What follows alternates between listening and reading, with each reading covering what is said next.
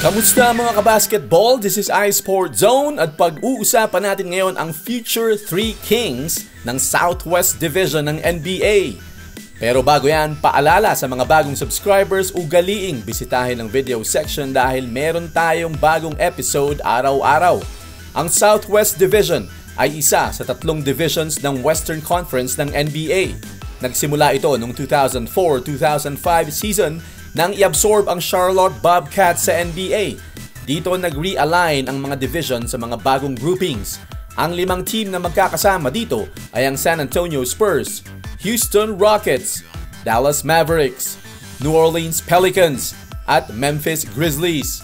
Historically, ang Southwest Division ang pinaka-competitive at pinakamalakas na division ng modern era.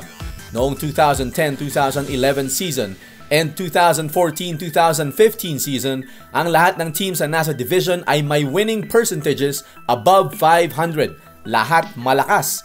Sa peak ng Southwest Division, kung may road trip ang team ninyo sa area na ito, asahan mo nang mahihirapan kayo lalo na sa Texas Triangle ng Spurs, Mavs at Rockets. Talagang malalakas halos palagi ang mga teams na yan. Noong 2014-2015 season, ang lahat ng team sa Southwest Division ay pumasok ng playoffs. Dalawang beses pa lang nangyayari ito in the last 30 years. Ngayon, tumatanda na ang Spurs at desperadong nakikipagkarera sa 8th spot.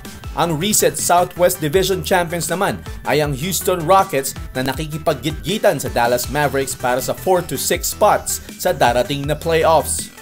Magandang obserbahan ang mangyayari sa Southwest Division sa loob ng 10 to 15 years mula ngayon.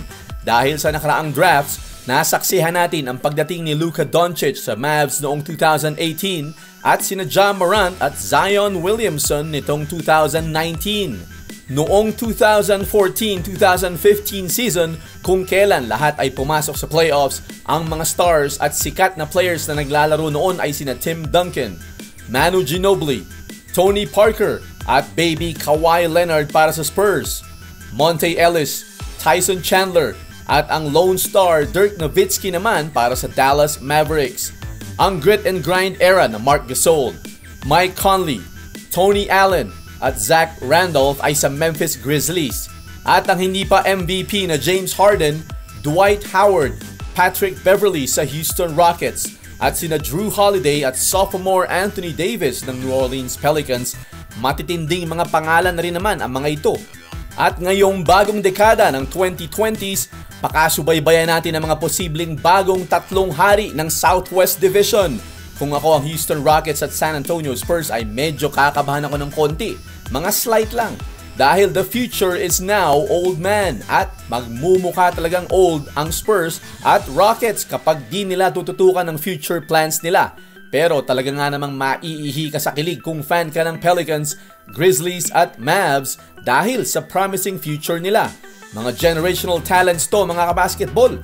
Si Zion Williamson, John Morant at Luka Doncic. Mga lima, sampu o labing limang taon mula ngayon Barring any injuries, sila ang mga players na maghahari sa Southwest Division at magbabakbakan sa playoffs. At kung kayo ay fan ng NBA, magandang pangitain ito dahil marami pa tayong susubaybayang mga players kapag nagretiro na ang mga paborito nating idolo sa era na ito. Sino kina Luka, Zion at Ja ang gusto mo ang style ng laro? Pag-usapan natin yan sa comment section, like and share this video. Don't forget to subscribe. This is iSport Zone.